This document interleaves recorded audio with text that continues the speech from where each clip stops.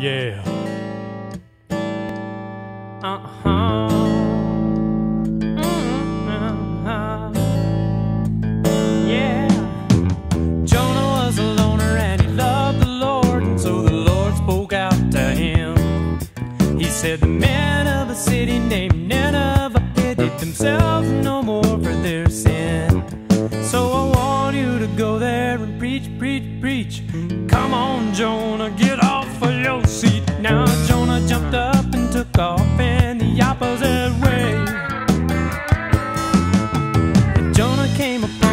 small ship down in Joppa, heading out Tarshish way. He said, I can't afford to stay around, cause the Lord, He knows I've disobeyed. So he paid his fare and he bought him a ticket. Said, preaching is a habit, this the best way to kick it. Cause me and the boys on the boat are gonna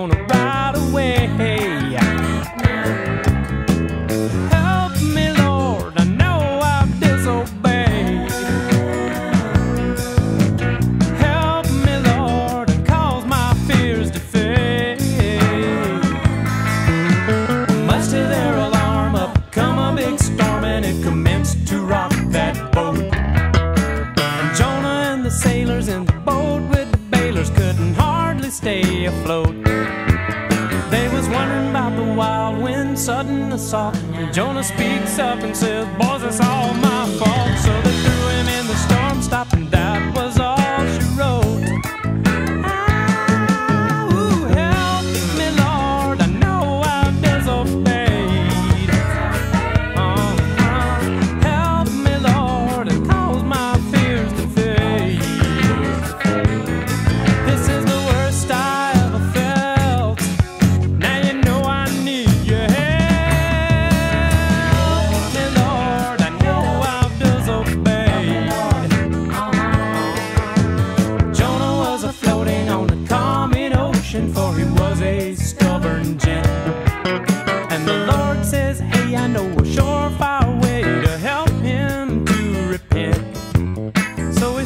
fat fish that was big and bold, and it grabbed